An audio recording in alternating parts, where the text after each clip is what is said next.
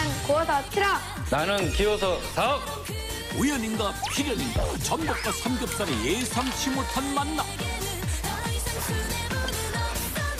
드디어 시작되는 맛의 신세계 특이한 조합인 것 같아요. 아, 하모니 아주 좋아요.